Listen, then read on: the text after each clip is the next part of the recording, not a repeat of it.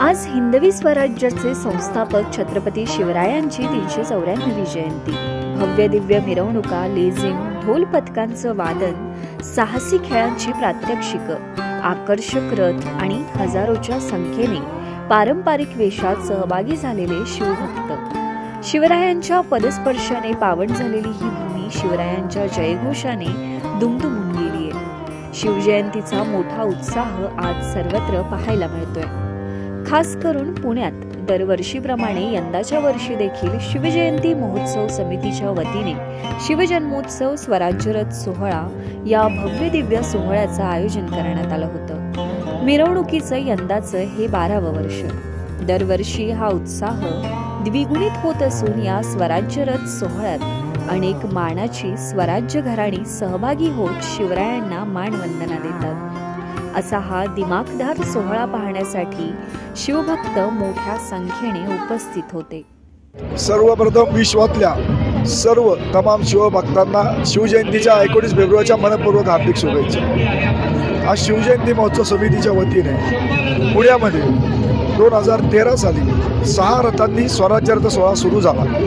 त्याच्यामध्ये शिवाजी महाराजांबरोबर जे जे वीर घराणी होती वीर बाजी मासलकर जे दे बांदर कणक मालुसरे आणि मुख्य रथ जिजाऊ मासाहेब शहाजी महाराज शिवजोत याच्या नेतृत्वाखाली सहा रथ सुरू झाले. आणि आज बाराव्या वर्षी तब्बल शंभर स्वराज्य रथांनी हा विश्वातला सर्वात मोठा शिवजयंती सोहळा ठरलेला आहे. अनेक वीर पुरुषांचे वंशज त्यांचे स्वतःचा इतिहास मांडण्याचा त्यांचा रथ घेऊन येत आहेत. तर मी आज आवाहन करतो की एकदा तरी तुम्ही पुण्यात येऊन एकोणीस फेब्रुवारीला शिवजयंतीला या सोहळा याची देई होती याचे डोळ बघा. जय हिंद जय शिवराय जय स्वराज्य. छत्र शिवा छत्रपती शिवाजी महाराज यांचे सर सरसेनापती वीर बाजी पासेकर यांचे आम्ही वंशज आहोत. आज गेले दहा ते पंधरा वर्ष झालं आम्ही दोन रथापासून आज शंभर रथापर्यंत पोहोचलेलो आहोत. आणि सर्व आलेल्या सगळं सर्व महाराष्ट्रातील सरदारांना आणि सर्व आयोजित केलेल्या सगळ्या शिवजयंती महोत्सव. आणि सर्वांचे मी या ठिकाणी आभार मानतो. एक चांगल्या पद्धतीने शिवजयंती महोत्सव आता खऱ्या अर्थाने एक महाराष्ट्रातलं एक मोठं स्वरूप प्राप्त झालेलं आहे. छत्रपती शिवाजी महाराजांच्या पदार्पणाने पावन झालेली पुण्यनगरी. आपण ज्या भागामध्ये उभं राहिलो ह्या ठिकाणी छत्रपतीचं बालपण झालं. हा देशामध्ये छत्रपती शिवाजी महाराजांची जयंती साजरी केली जाते. खऱ्या अर्थानं छत्रपतीने रहितेचं राज्य निर्माण केलं.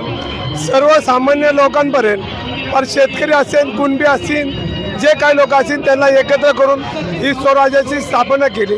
स्वराज्याची मुहूर्तमेढ रोवली. आणि ह्या राजाच्या जयंतीनिमित्त मी सर्व देशवासियांना शुभेच्छा देतो मनापासून.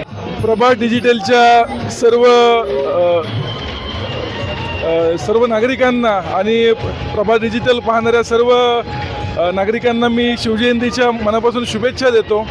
आणि आज या शिवजयंती महोत्सव समिती आयोजित बाराव्या वर्षाची तपपूर्ती असलेला हा स्वराज्यरथ सोहळा आज या ठिकाणी आनंदाने आणि समाधानाने सगळेजण पार पाडतोय. आणि जागोजागी या सगळ्या स्वराज्य रथांचं स्वागत होतं. यंदाच्या वर्षी तब्बल पंच्याण्णव स्वराज्यरथ घराण्यांनी या रथयात्रेमध्ये सहभाग घेतलेला आहे. आणि जागोजागी या स्वराज्य रथांचं स्वागत होत असताना या ठिकाणी श्रीमंत भाऊसाहेब रंगारी हिंदुस्थानातला प्रथम सार्वजनिक गणेशोत्सवाचे प्रणेते या गणपतीच्या मंडळानं या ठिकाणी या स्वागत कक्ष उभारून प्रत्येक रथाचं आगत आगतातिथ्य केलेलं आहे. त्याबद्दल या भाऊसाहेब रंगारी मंडळाचंही आभार मानतो आणि प्रभा डिजिटलचंही आम्ही आभार मानतो की तुम्ही सर्वजण या शिवजयंती रथ सोहळ्याला आपल्या माध्यमातून सगळीकडं पोहोचवत आहे त्याबद्दल तुम्हालाही आभार मानतो. सर्वप्रथम एकोणीस फेब्रुवारी आज शिवजयंतीचा सर्वांना हार्दिक शुभेच्छा. या ठिकाणी मानाजी पायगुडे यांनी आटकेपार झेंडे जे- आपण मराठीमध्ये म्हणे ते या ठिकाणी लावलेले आहेत. तर हा जो मानाचा पा सावरत आहे तर त्यांनी खैबर खिंडे इथनं जाऊन पायगुड्यांनी मानाचा जो मराठी पाऊल पडते पुढे या ठिकाणी मानाचा जो मराठी पाऊलचा जो इतिहास लावलेला आहे तो यापासून सुरुवात होती. स्वराज्य रथ यांना सर्वच जे स्वराज्य रथ आहेत त्यांना मी शुभेच्छा देते. तसेच शिवाजी महाराज जेव्हा एक वर्षाचे होते तेव्हा त्यांनी श- सम छत्रपती शहाजीराजे भोसले यांनी द- मा- कोंड्यांच्या मनगडातलं बळ बघून शिवरायांना एक वर्षाचे असताना शिवापूर येथे पाठवलं आणि त्यामुळे खेडेबारे गावाला नाव शिवापूर असे पडले. आम्ही आता जागतिक अकरा दुर्ग जे आहेत ते आमचं आता कोंडे देशमुख रथाचं कोंडे देशमुख रथाचं जे आता अट्रॅक्शन आहे ते अकरा दुर्ग.